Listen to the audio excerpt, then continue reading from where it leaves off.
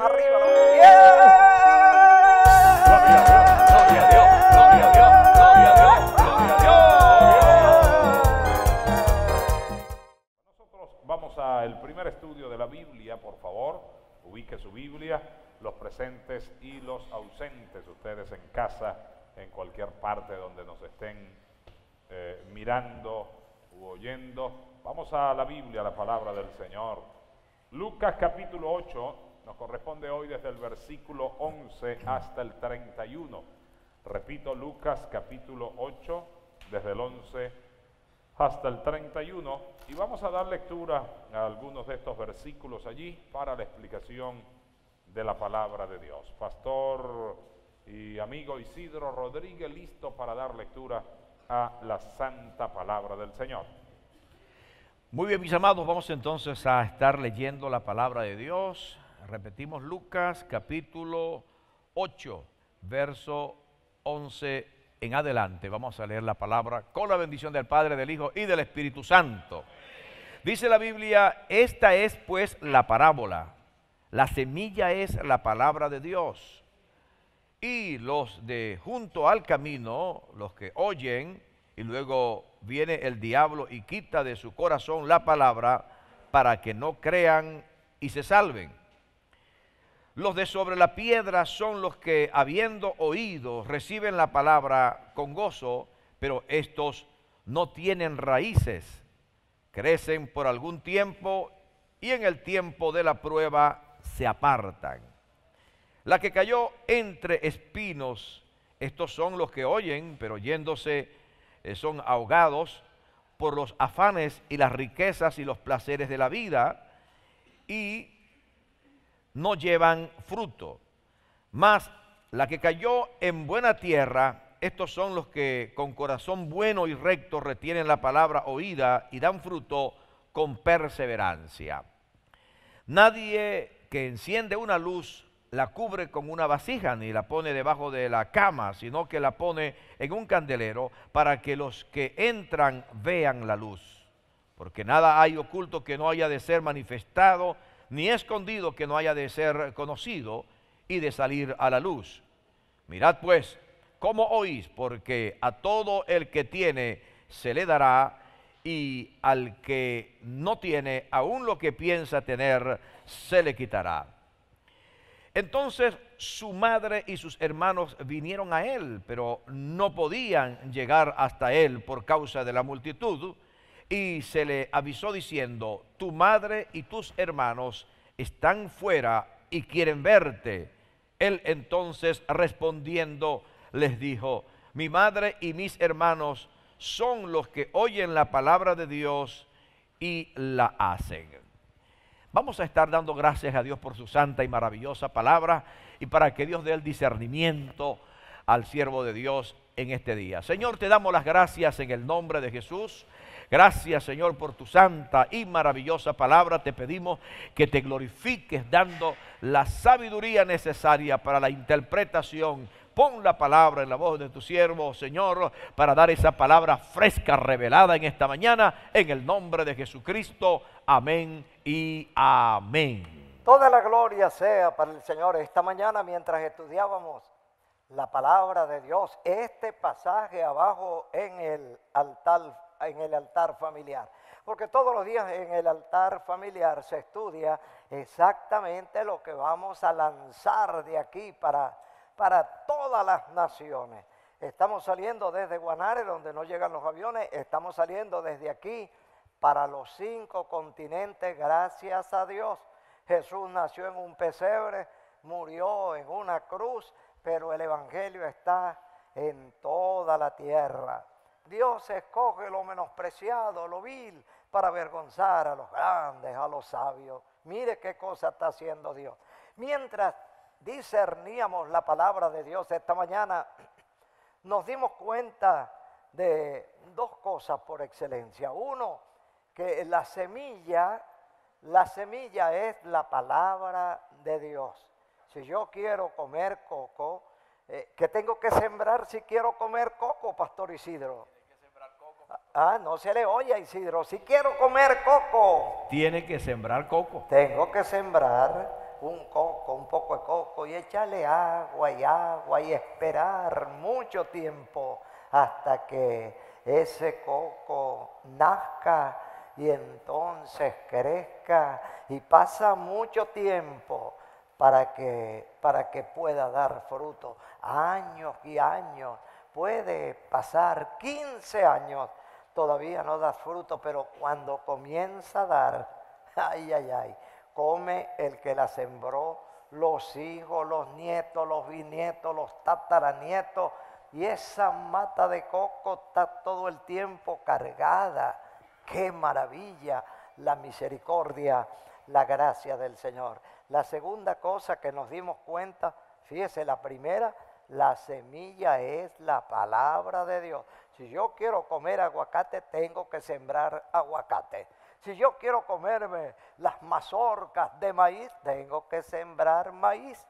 Pues si yo quiero los frutos del reino, si yo quiero que mi misión crezca, si yo quiero que mi congregación crezca, si yo quiero que la obra crezca en mi país, yo tengo que sembrar la palabra, la palabra, la palabra, la palabra, de día y de noche sembrando la palabra. No perder el tiempo hablando de Maduro, hablando de los políticos, hablando de los brujos, hablando de los curas. Vamos a presentar a Jesucristo.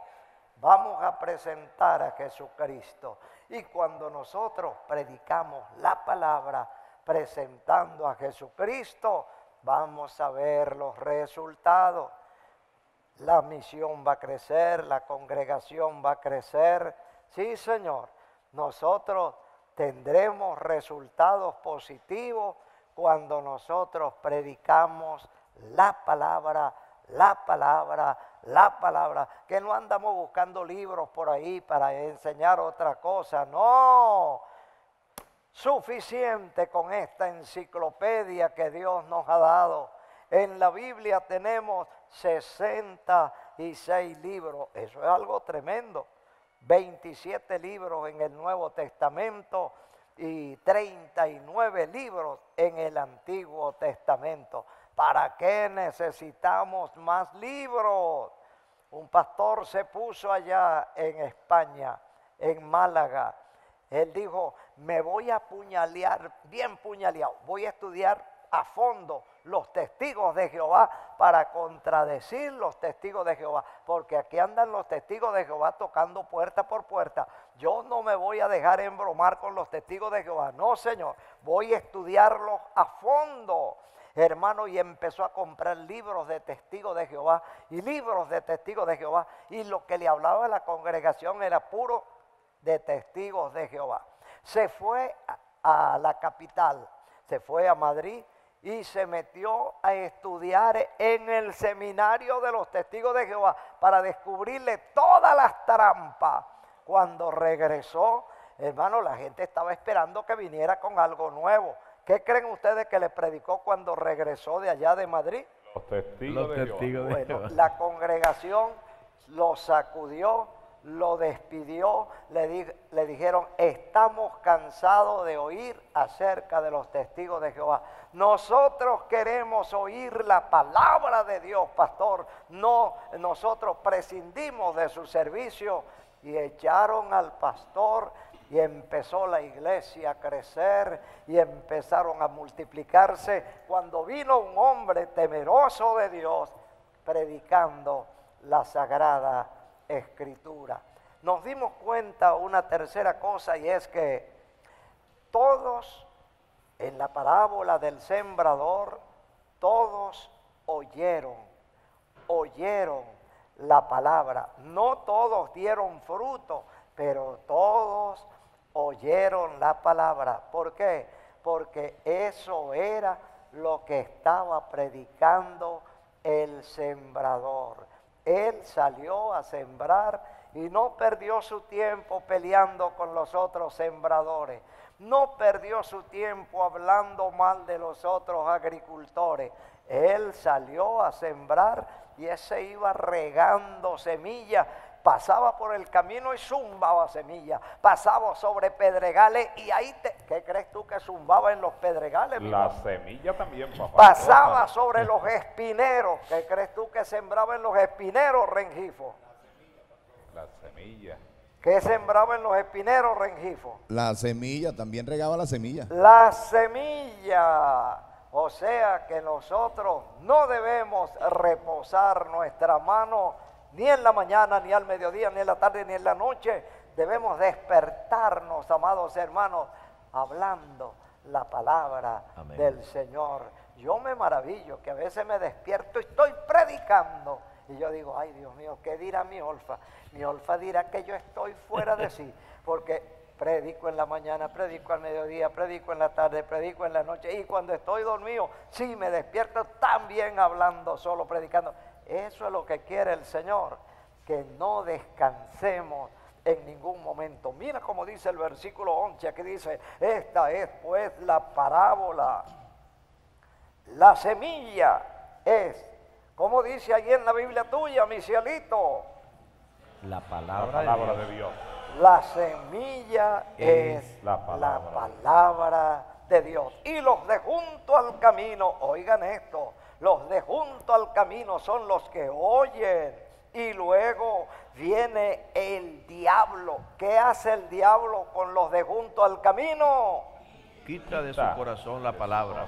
Les quita la palabra para que no crean y se salven. Esos de junto al camino son los despistaditos, mis amados hermanos, que llegan al culto y tienen el teléfono y empiezan a mandar mensajes. Están sentados en el culto. Ah, ¿qué están leyendo? Sí, está- y abrió la Biblia, pero continúa leyendo mensajes y mandando mensajes. A ese no le queda nada. No le queda nada. ¿Por qué? Porque viene el diablo y el diablo le, le esconde la palabra por allá en el subconsciente. Cuando regresa a la casa, el marido le pregunta a la mujer, le dice, ¿cómo estuvo el culto? ¡Uh, de maravilla! ¿Y qué predicó el pastor? Bueno, habló muy bonito, habló de muchas cosas, pero dime alguna de las cosas que habló. Bueno, la verdad es que no se me grabó. Ajá, ¿y qué fue lo que leyó el pastor? Para ver, tampoco se acuerda el pasaje que leyó el pastor. Mire, es necesario cargar un lápiz, es necesario cargar un, un cuaderno, una libreta o una hoja de papel para anotar esas perlas preciosas que Dios nos da a lo largo del camino. Porque todos los días el Señor nos da cosas nuevas, pero no las podemos guardar en la mente. Yo aprendí de mi padre, él tenía siempre al lado de la cama su Biblia, un cuaderno y un lápiz. Se levantaba de noche, prendía la linterna y empezaba a escribir lo que Dios le daba. Yo dije, algún día seré como mi padre, algún día yo voy a ser como mi papá. Pues mire, una de las cosas que me caracterizan y que le enseño a mis hijos y enseño a las congregaciones y enseño a las multitudes y enseño a los pastores, no ande nunca sin un lápiz y un papel. Si usted anda sin lápiz y sin papel, usted está descarriado. Usted no va a recoger las joyas preciosas que el Señor le da de día y de noche. Estos son los de junto al camino, los que oyen la palabra, la oyen con gozo, pero ¿qué pasa? Hermano, viene el diablo y les arranca la palabra y así pasan los años y pasan los meses y pasan la vida sentados en el banco. No se le ve crecimiento. ¿Por qué? Son despistados. No prestan atención. No recogen lo que el Señor, lo tanto bueno, lo tanto hermoso, lo tan sabroso que el Señor nos da. Mi último versículo es el versículo 13. ¿Cómo dice el versículo 13? Los de sobre la piedra son los que ha- habiendo oído reciben, la palabra, con, gozo, con gozo, pero, estos no, no tienen, raíces. raíces. Creen Creen por algún tiempo y en el tiempo de la, prueba se apartan. apartan. Estos de las piedras, mis amados hermanos, Son los que reciben la palabra con gozo, ah, pero no profundizan, no asisten a un matutino, ni siquiera lo oyen por la radio, ni, por, ni lo ven en la televisión, no hacen altares familiares en su casa con su familia. Si tú le das la primicia del día a Dios, si tú de mañana buscares a Dios y rogares al Todopoderoso y fueres limpio y recto, ciertamente luego se despertará por ti y hará próspera la morada de tu justicia. Y aunque tu principio haya sido pequeño, muy pequeño, tu postrer estado será, ¿cómo será el postrer estado, mi Juan? Muy grande, papá, muy grande. Sí, el postrer estado será muy grande si tú de mañana buscares a Dios. Antes que se levanten los gallos y las gallinas, los pollitos, los pajaritos, antes que se levanten los burros a rebuznar, antes que los animales alaben a Dios, antes que salgan las gandolas, los carros, los taxis, pi, pi, pi, antes que salgan las gandolas con pu, pu y los carros con pi, pi, usted debe estar en la presencia de Dios, buscando esos tesoros que el Señor le quiere dar. Y si usted lo hace, tu postrer estado será muy grande. No porque lo diga el hermano Puerta, sino porque escrito está en la palabra de Dios. No dejes que el diablo te arranque la semilla.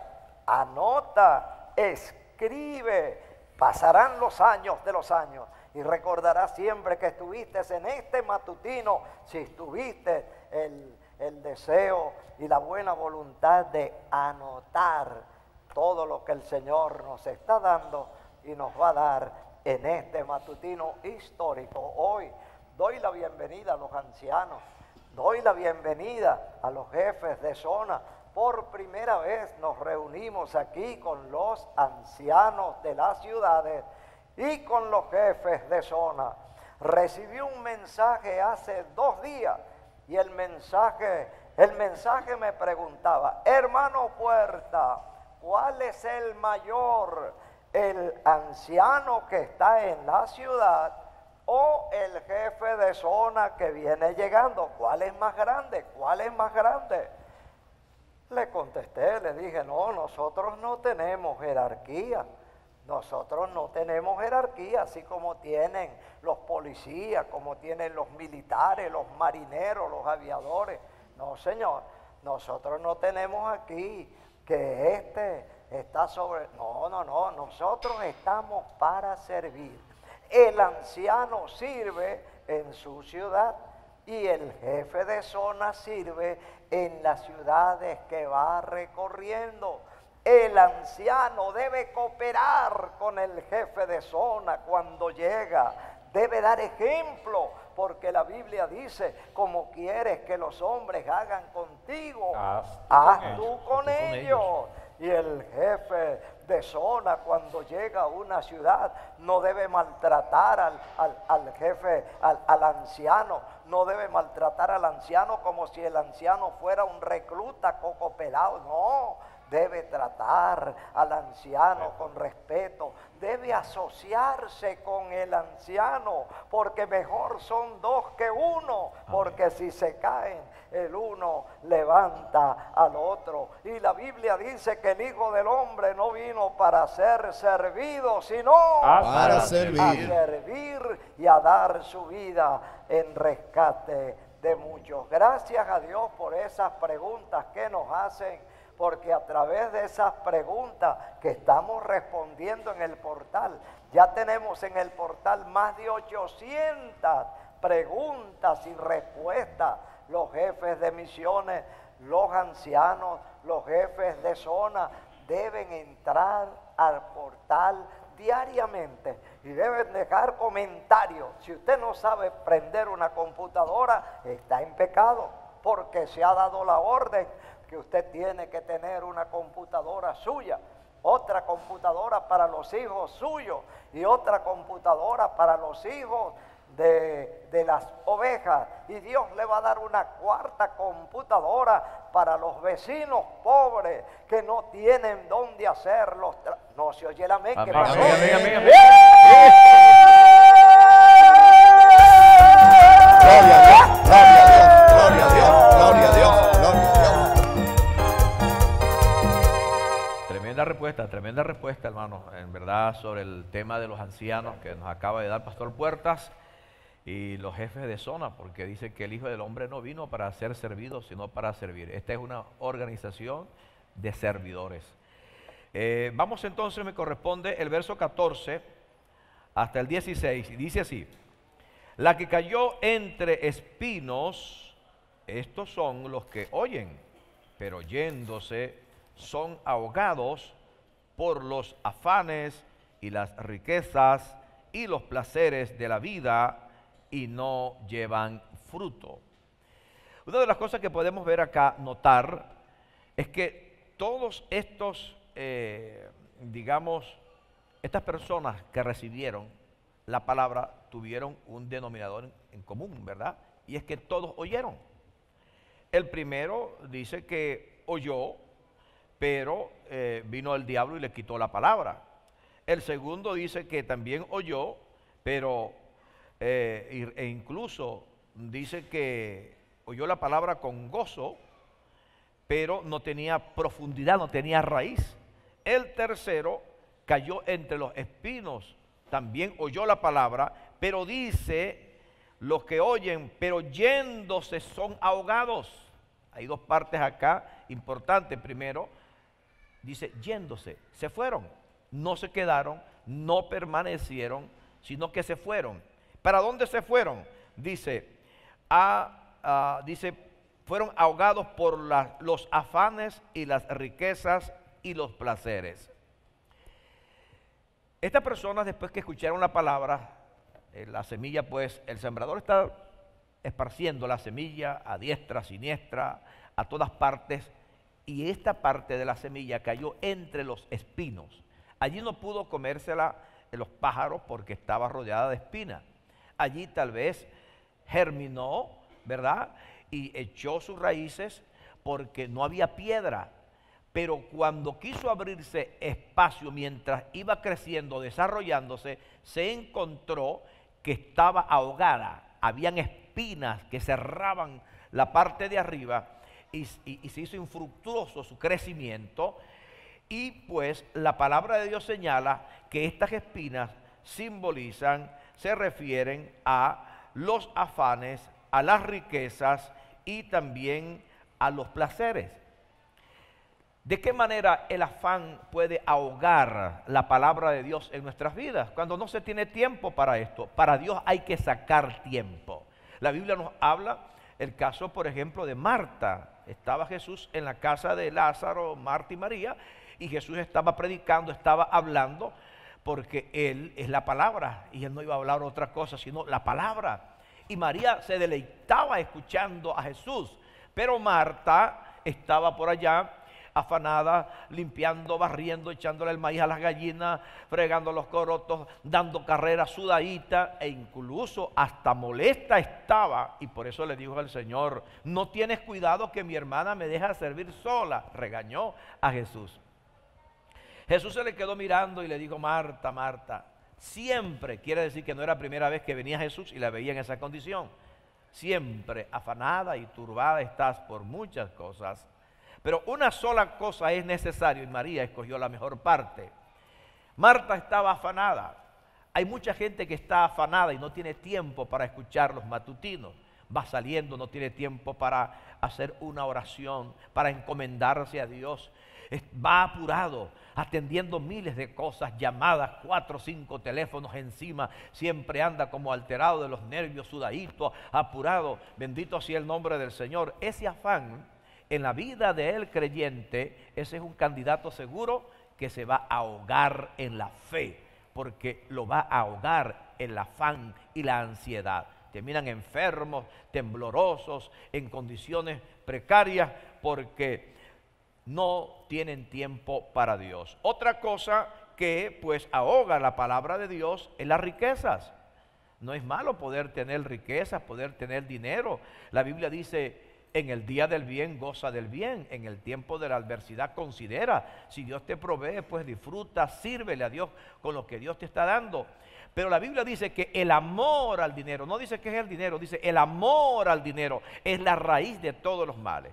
Por amor al dinero la gente no ofrenda, por amor al dinero la gente no diezma, por amor al dinero la gente no está dispuesto a cooperar con los proyectos que se hacen en la obra del Señor. Ese amor descomedido al dinero te lleva a robar, a matar y a hacer cualquier otra cosa, a mentir porque amas el dinero. Por eso es que las riquezas se pueden convertir en un factor que ahoga a la palabra en aquellos creyentes pues que no eh, eh, tienen ese dominio propio.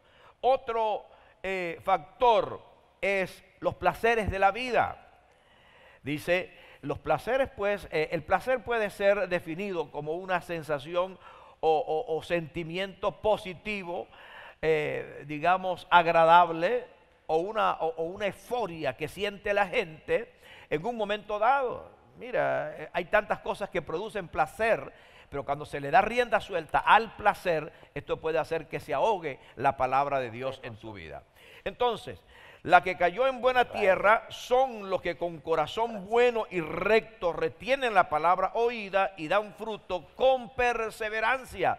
Dios quiere que nosotros recibamos esa palabra. La gran diferencia entre los que están entre las espinas y los que caen en buena tierra es que el que cae en buena tierra, esa palabra que cae en buena tierra, esa palabra germina porque usted se queda, usted tiene tiempo por encima de los placeres, de las riquezas y del afán, está Dios en tu vida, en tu corazón.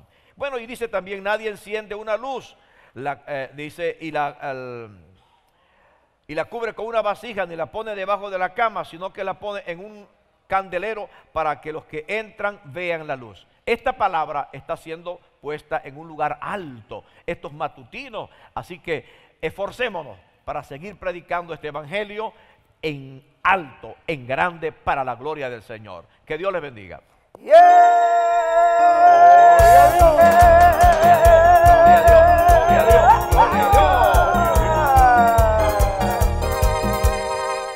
Seguimos nosotros entonces con la enseñanza de hoy. A mí me toca el verso 20.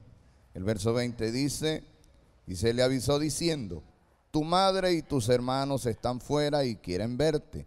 El verso 21, él entonces respondiendo les dijo, mi madre y mis hermanos son los que oyen la palabra de Dios y la hacen. Yo creo que lo que el Señor nos está enseñando hoy es glorioso, es importante eh, oyendo a mi hermano Juan decir esa parte de que hay mucha gente que se queda por fuera por no estar en la visión. Es tremendo esto, que sea la propia madre y los hermanos del Señor los que se queden por fuera. Como que el golpe que más duele es el que menos espera. Aquí hay una palabra que Dios nos da a cada uno de nosotros, los que estamos en el cielito, los que están en el cielote, los que nos oyen a la distancia. No nos tenemos que quedar por fuera. Aquí hay que anotarse a la bendición de Dios. Aquí hay que anotarse a ganador. Aquí hay que sumarse a la palabra profética y correr en la visión. Y hay que creer de que este es el tiempo en el que el Señor nos está bendiciendo.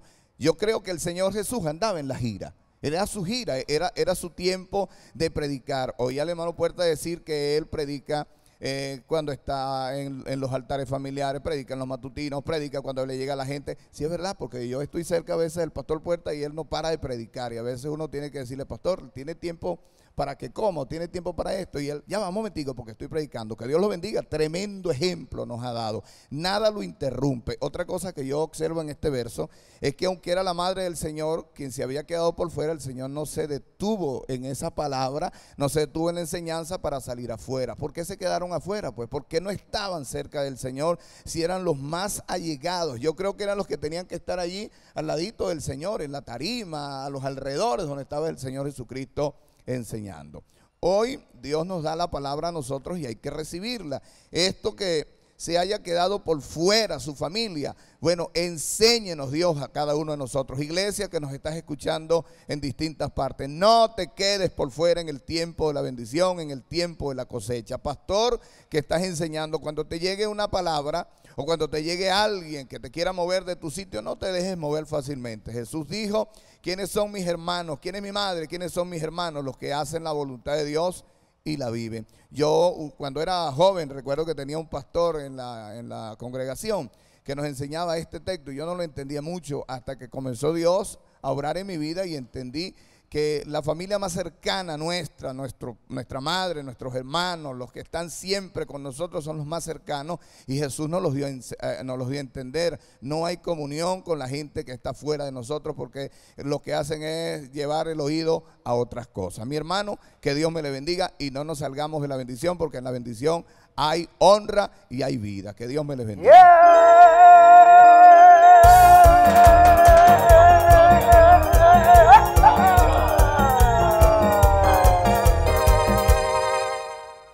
Gloria al Señor.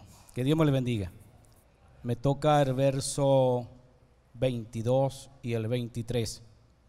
Dice, aconteció un día que entró en una barca con su discípulo y les dijo, pasemos al otro lado del, del lago y partieron. Pero mientras navegaban, él se durmió y se desencadenó una tempestad de viento en el lago y se anegaban y peligraban. Sabemos nosotros que Jesucristo, ¿verdad? En aquel tiempo también sentía cansancio.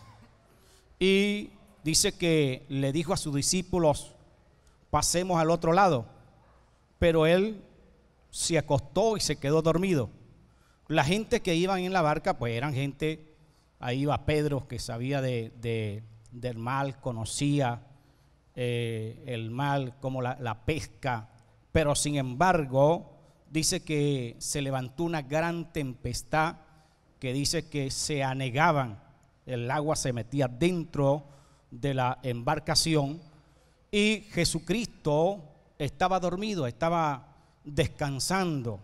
Y ellos fueron a llamarlos, fueron a llamarlos porque eh, el Señor se había quedado dormidos y ellos estaban asustados, tenían miedo, tenían temor. Es de, humano tener miedo, bendito sea el nombre del Señor Jesucristo. Y, y fue lo que a ellos le aconteció en aquel momento. Sabemos nosotros que cuando Jesucristo iba caminando sobre el mar, ellos pensaban que era un fantasma, tuvieron miedos, vieron un fantasma, Jesús como un fantasma.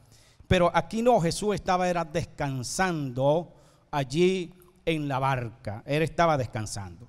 Ahora, dice que la tempestad era tan grande que se estaba el barco eh, hundiendo, ya se estaba llenando, el agua se estaba llenando, estaba llenando la embarcación. Y ellos corrieron a despertar al maestro.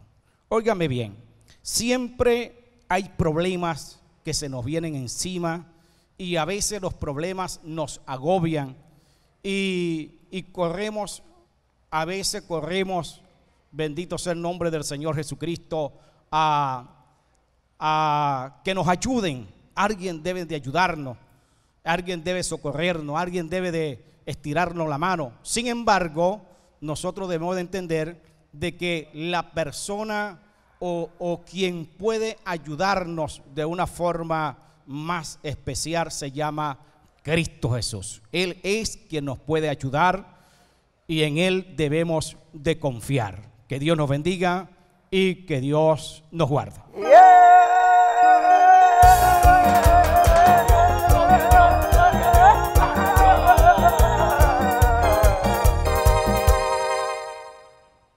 Dios les bendiga. Dios nos guarde. Amén. Nos toca el versículo número 24, que dice, y vinieron a él y le despertaron diciendo, maestro, maestro, que perecemos. Le despertaron y él reprendió al viento y las olas y cesaron y se hizo bonanza. En medio de esta situación en la cual el pastor anterior estaba disertando, Nos encontramos con unas personas en gran angustia, en gran desesperación. ¿Quién no tiene angustias? ¿Quién no tiene desesperación? ¿A quién no le ha tocado vivir momentos difíciles? Quizás usted mismo que nos está viendo o escuchando está pasando por situaciones difíciles en este momento. Y para esas situaciones difíciles, para esas situaciones de aprieto, solamente algo puede sacarnos de esa situación y es nuestra fe en el Señor. Jesús reprendió a sus discípulos, casualmente por eso lo vamos a ver más adelante. Y es que la fe puede crecer en nuestras vidas cuando nosotros estamos muy cerca del Señor, cuando nosotros estamos abordando su palabra, cuando nosotros estamos escuchando su palabra, cuando nosotros somos no como los que están junto al camino, cuando nosotros somos como aquellos que la palabra cayó en el centro del corazón y tuvo fruto, mucho fruto, amigo, hermano, pastor. Necesitamos estar muy cerca de la palabra, atesorarla, buscarla profundamente porque ella va a ser nuestra ayuda en los momentos de angustia, en los momentos difíciles, en los momentos en los cuales no tengamos la solución a la mano, allí la tendremos. El salmista David en el Salmo 34 pudo decir, este pobre clamó y lo oyó Jehová y de todas sus angustias lo libró. ¿Y sabe por qué? Sigue diciendo el siguiente versículo, porque el ángel de Jehová acampa alrededor de los que le temen y les defiende. En medio de la tempestad, en medio de la angustia, clamemos a Dios, clamemos al Señor, que Él nos va a ayudar. Que Dios le bendiga.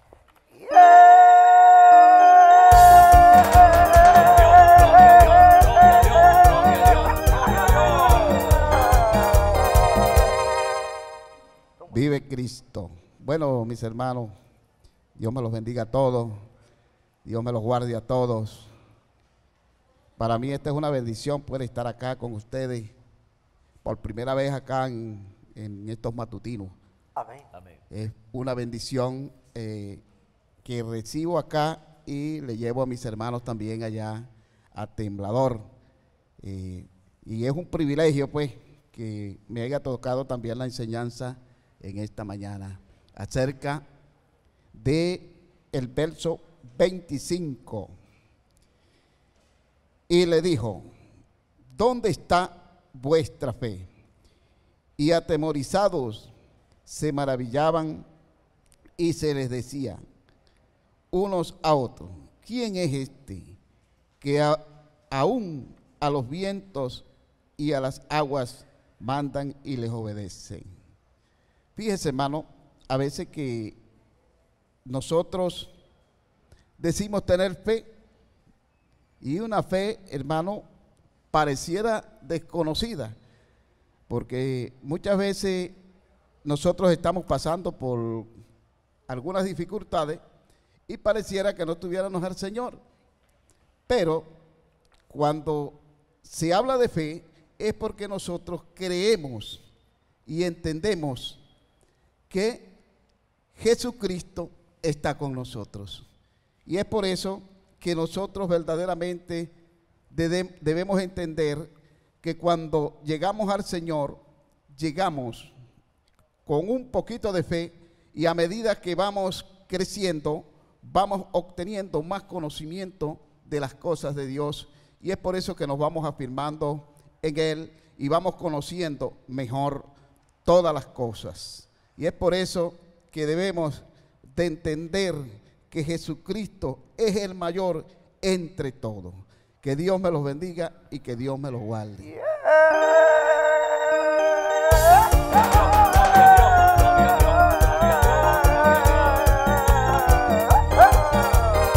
Estamos listos para presentar delante de todos ustedes la conclusión del glorioso matutino de hoy, día miércoles. El pastor Puertas ya tiene su Biblia abierta en el Evangelio según San Juan, capítulo 15. Vamos a estudiar los versículos 13 y 14 para el cierre, la conclusión de las enseñanzas bíblicas. Vamos a pedirle a nuestro hermano Lester Noriega que nos dé lectura a la palabra del Señor.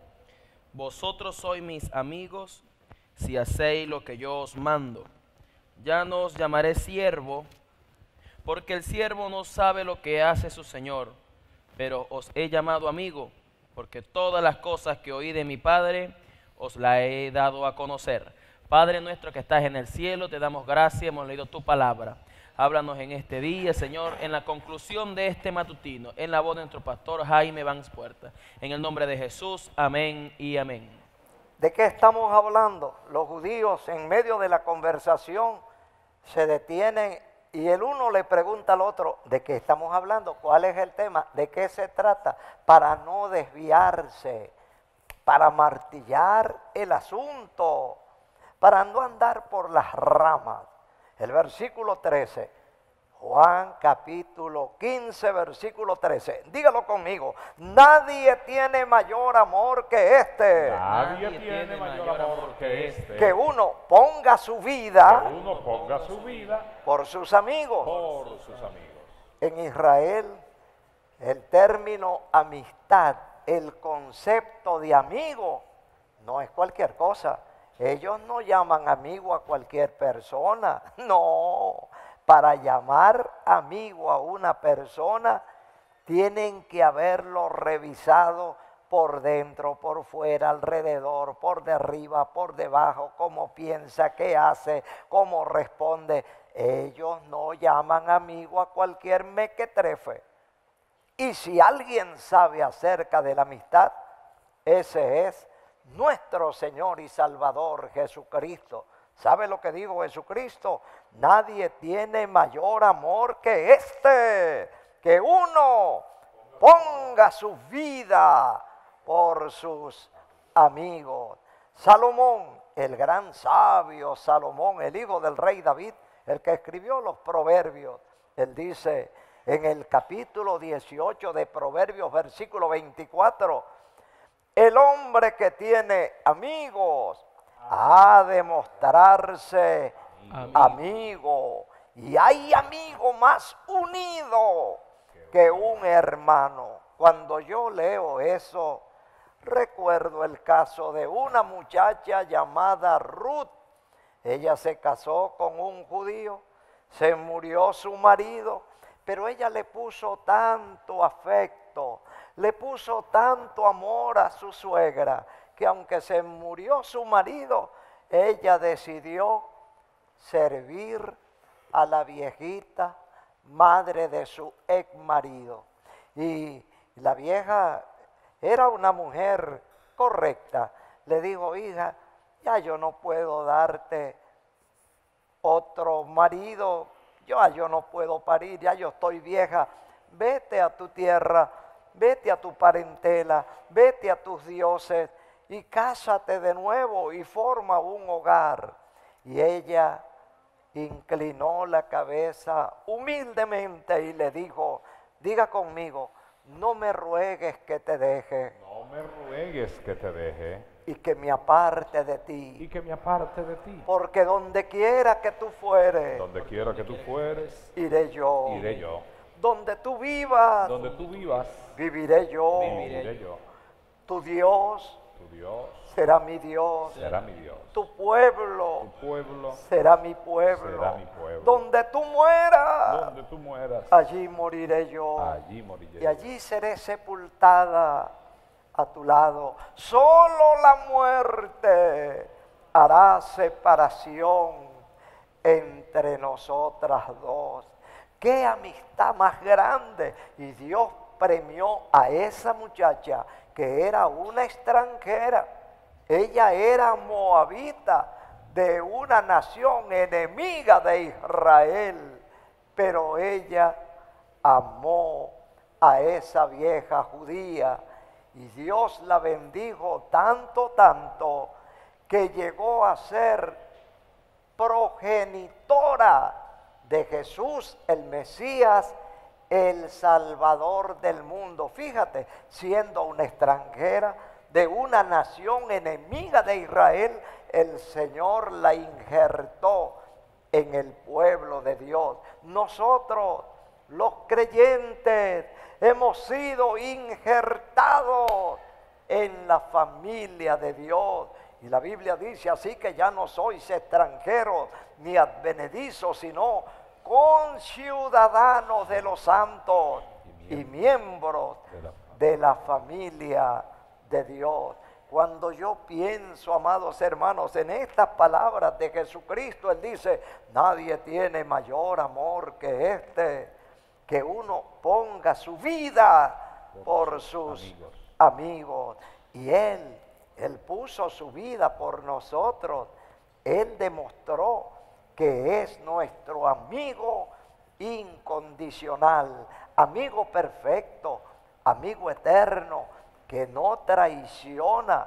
Cuando él estaba colgado allí en la cruz del Calvario, coronado con espinas, se suponía que sus amigos debían estar con él, pero estaban lejos.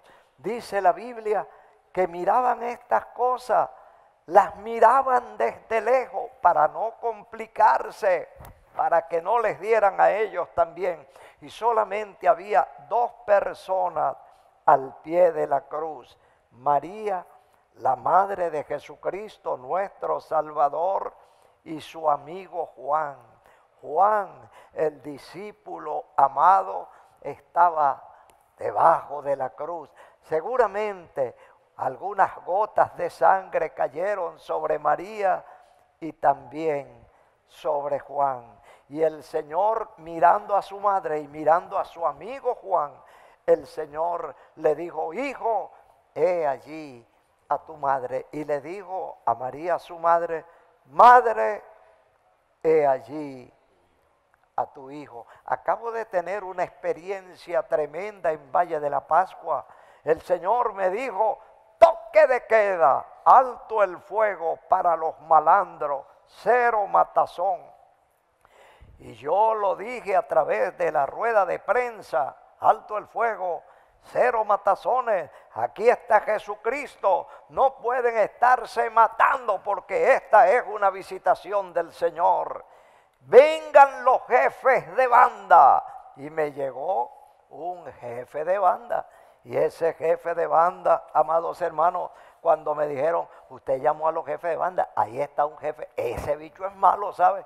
No se preocupe, salí afuera, le eché el brazo y le dije, yo soy tu abuelo, vente conmigo.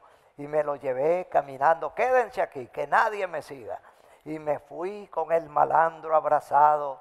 Le dije, el peor enemigo de un malandro es el otro malandro que está con él. Si son tres y hacen un tremendo trabajo y roban una fortuna, cuando uno se mete al baño, los otros dos se secretean. Vamos a sacarlo del medio y nos repartimos esto entre los dos. Y cuando viene saliendo, papá, lo matan. Ah, pero después quedan ustedes dos. Y lo mismo que hicieron con él, uno de los dos lo va a hacer con el otro. El peor enemigo de un malandro no es la policía, no es la Guardia Nacional, es el otro malandro.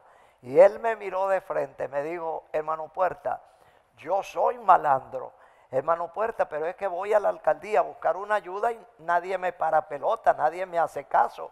Y voy a buscar trabajo. Y como yo soy malandro, hermano Puerta, yo soy malandro, pero bien malandro de verdad. Yo tengo mi mujer, yo tengo tres hijos. Pues me pongo a robar.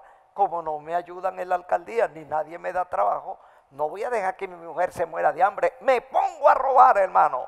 Hermano, le dije, voy a orar por ti. Ponte la mano en el corazón. Le hice una oración. De aquí en adelante no vas a ser más ladrón. Ahora nosotros somos tu familia. Vente conmigo. Agarré a la pastora Dori y le dije, Dori, este es tu hijo. Y a él le dijo, hijo, esta es tu madre. No me lo abandones, Dori. Métele la mano. Vamos a recogerle una ofrenda. Y me fui allá hermano, y saqué una buena ofrenda para el malandro. Y los que estaban allí le dije, ustedes van a ofrendar para el malandro. Este malandro nunca más va a robar. Hermano, y le entregamos esa tremenda ofrenda al malandro. ¿Sabe lo que sucedió? El malandro lo cambió el Señor. El hotel el mejor hotel de Valle de la Pascua le dio trabajo al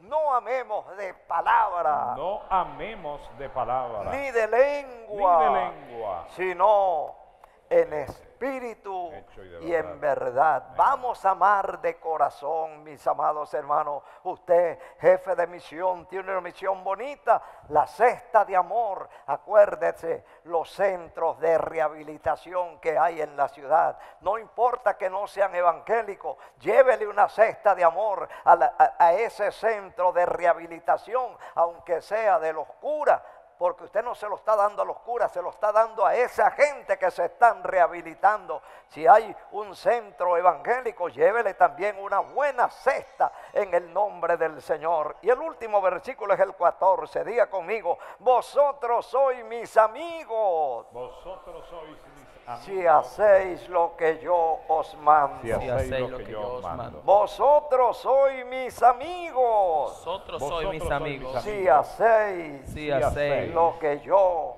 lo que yo os mando. ¿Qué es lo que nos manda el Señor? Usted quiere ser amigo del Señor, haga lo que el Señor nos ha mandado. Amaos los unos a los otros. Usted es marido, ame a su mujer. Usted es esposa, ame, respete a su marido. Nunca se despida de su casa largando un portazo. No salga de su casa en, eh, eh, eh, enemistado con su esposa, bravo con sus hijos. Nunca despida a su marido enemistada con él. Usted no sabe si ese marido se mata en el trabajo, en un accidente, y qué recuerdo te queda cuando lo veas metido en el cajón. Es bueno que se despidan con un fuerte abrazo, con un beso, que sus hijos los vean a ustedes que de verdad se aman, así como los pajaritos que se dan el agua en el piquito. Ámense pero no de palabra, ámense de corazón y que Dios me los bendiga. ¿Quieres ser amigo de Jesucristo? Ama. Aún a tus enemigos, ama. Aún a los malandros, ama. Aún a las rameras homosexuales, ámalos. Ten misericordia de ellos. Están allí porque el diablo los tiene atrapados. Pero tú que conoces la luz, tú que conoces la verdad, dale un poquito de amor que tanto necesita. Si tú lo haces, eres amigo de Jesucristo. Seamos amigos del Señor, pero amigos de verdad. Que el Señor te bendiga. ¿Estás de acuerdo, cielito? Gloria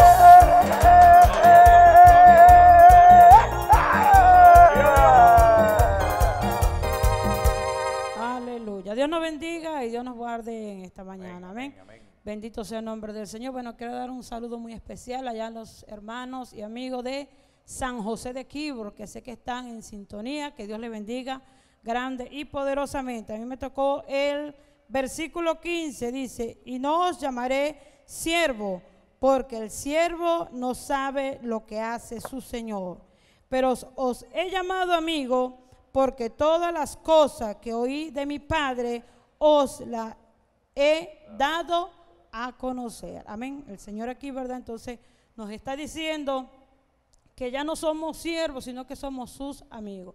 Podemos decir en esta mañana que el amigo no traiciona, el amigo no miente, el amigo no quiere el mal, ¿verdad? Para aquel que en verdad es su amigo. Así es Jesucristo. Jesucristo así es con nosotros. Jesucristo, amigo, en esta mañana tú que estás oyendo, estás viendo estos hermosos matutinos el Señor te dice que Él quiere ser tu amigo. Él quiere ayudarte aún en esa dificultad, ese problema que tú estás pasando, que de repente estás rodeado de muchas personas, pero en verdad no tienes eh, esa confianza.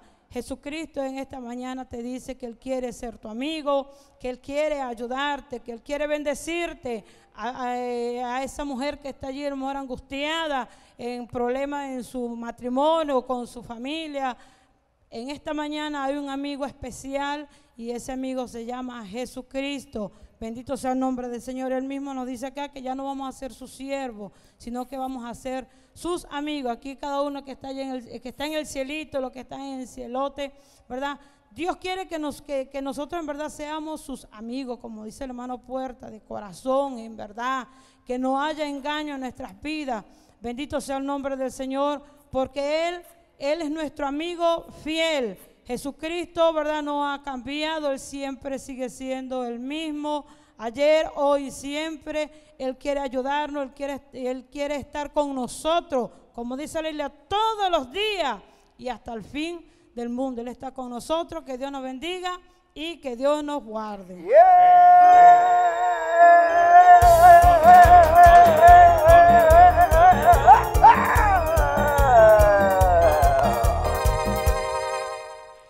Bueno, Dios les bendiga, Dios les guarde.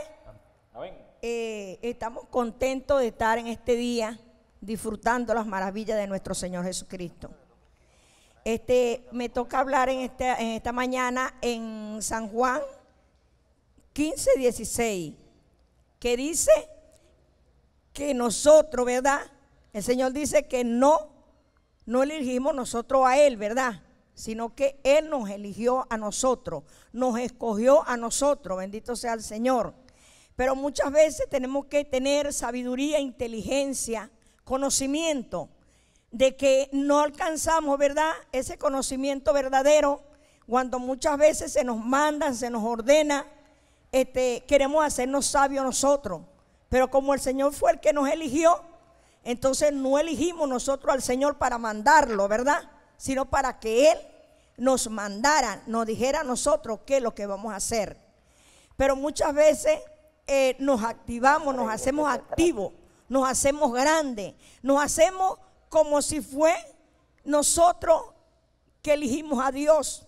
Él nos eligió a nosotros por su infinita misericordia para que nosotros le sirviéramos a Él, ¿verdad?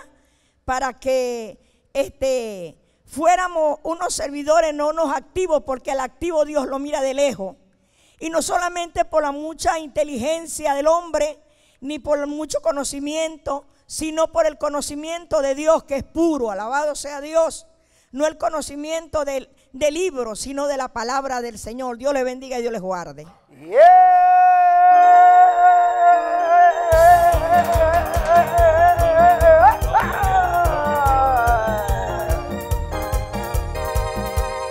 Dios le bendiga. Saludo a mis hermanos allá en La Guajira, eh, de Santa Cruz de Mara y en Los Filú. Que Dios bendiga a mis hermanos allá en ese lugar. A mí me corresponde Juan capítulo 15, versículo 17 dice, estos mando que os améis unos a otros. Dios nos sigue estos mandos, esto nos manda Dios. O sea, no es un, no es un, es una ordenanza que nos está dando el Señor a todos nosotros, su pueblo, y especialmente a los matrimonios. Dios le dice al esposo que ame a su esposa, y la esposa que ame a su esposo, y, y a hijos que amen a sus padres. Puedo, quiero contar algo, porque esto es lo que hace el amor de Dios.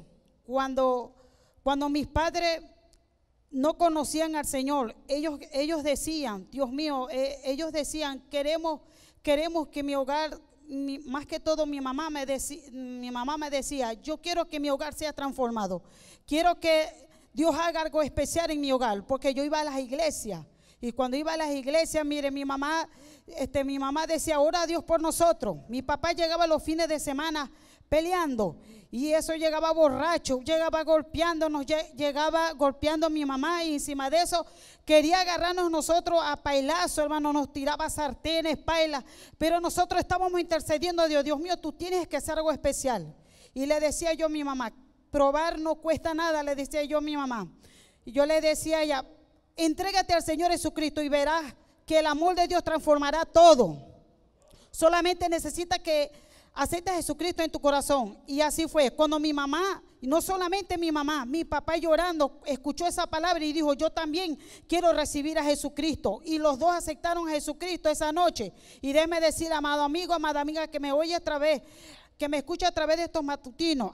El Señor hizo la obra transformó esas vidas. Hoy en día mi padre no llega borracho. Hoy en día llega mi padre los fines de semana, desesperado. Vámonos para el culto. Y no solamente para el culto, para la gloria de Dios lo cuento. Mi mamá hoy en día es una obrera también, que hoy en día el amor de Dios solamente hizo esa transformación, ese cambio en ese hogar, porque solamente Cristo, solamente Dios, el que dio esta orden, solamente puede cambiar y transformar ese puede transformar ese hogar en amor. Amén. Que Dios le bendiga. Amén.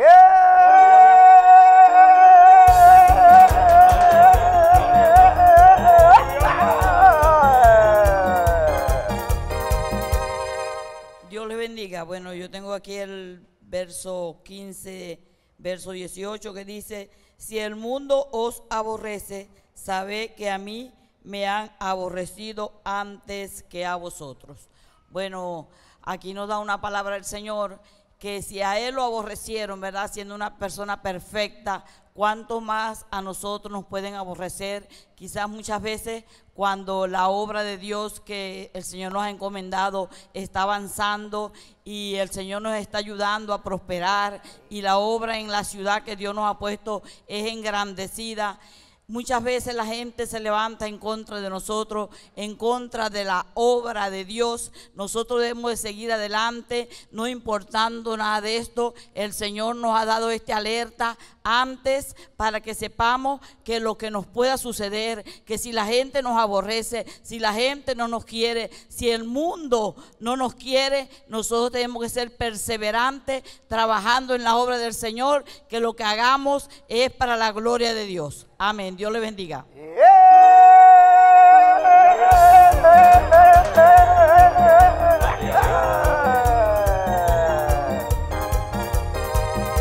Ha llegado el momento de arreglar nuestras cuentas con Dios. Este es el momento, después de predicar, después de haber explicado la palabra, después de haber oído esos grandes cantantes del Señor, ahora nos toca arreglar las cuentas. Porque Jesucristo dice en su palabra, dígalo conmigo, he aquí. He aquí yo estoy en la puerta de tu corazón llamando. Yo estoy en la puerta de tu corazón llamando. Si alguno oye mi voz. Si alguno oye mi voz. Y abre la puerta de su corazón. Y abre la puerta de su corazón. Entraré a él. Entraré a él. Y cenaré con él. Cenaré con él. Y él cenará conmigo. Y él cenará conmigo. Estamos viviendo los días del fin. La última señal, amados hermanos, es que seríamos aborrecidos de las gentes, perseguido, matado, y que sería predicado el Evangelio en todo el mundo para testimonio a todas las naciones y entonces vendrá el fin.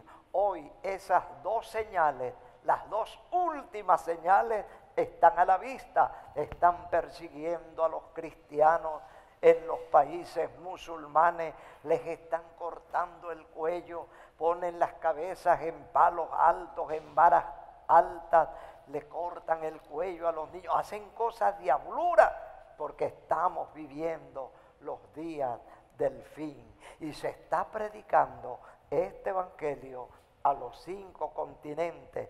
Desde aquí estamos saliendo para toda la tierra.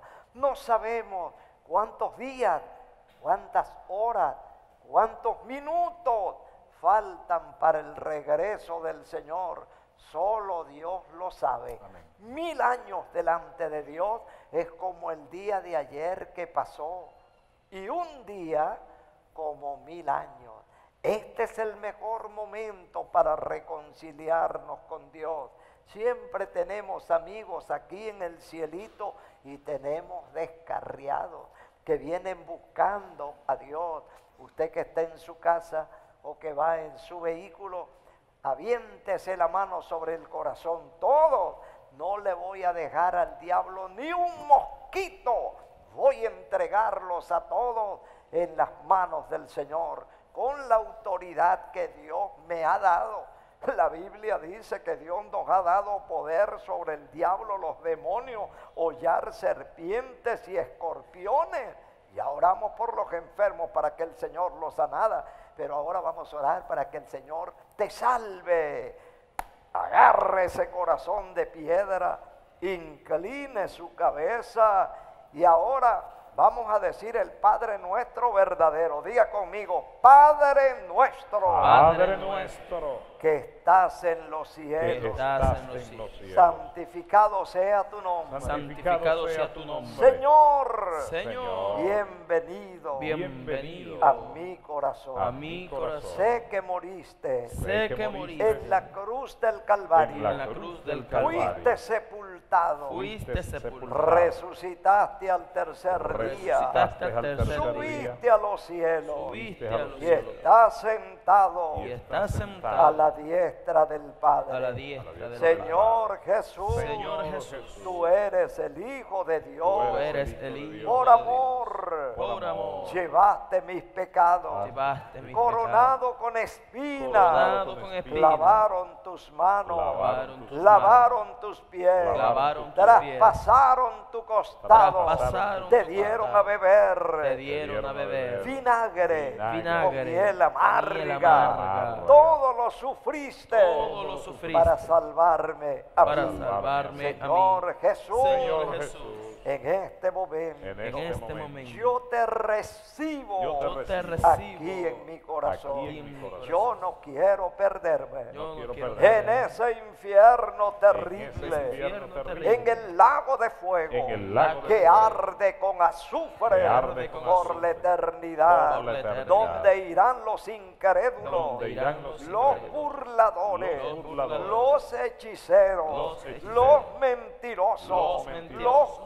Viciosos, Los los, viciosos. adúlteros, Los adúlteros. todo eso, Todo eso. éramos antes. Éramos antes. Pero tú, Señor, Pero tú, Señor, en tu amor, en tu en amor, tu misericordia, has lavado Has lavado todos nuestros pecados todos nuestros con pecados tu sangre. con tu sangre. Tú moriste en la cruz, Tú moriste en la cruz, perdonando. perdonando. Tu oración Tu oración al Padre, al Padre era esta. era esta. Perdona los padres, porque no saben lo que hacen. saben lo que Yo hacen. recibo ese Yo perdón. recibo ese perdón. Humilde como un Humilde niño, como un niño. te pido, Señor, Te pido, Señor, que laves mis pecados que laves mis pecados con tu sangre. con tu sangre. Escribe mi nombre, Escribe mi nombre en el libro, en de, la libro vida. de la vida. Señor Jesús, Señor Jesús, salva mi familia, salva mi familia, salva mis amigos, salva mis amigos, dame el gozo dame el gozo de la de salvación.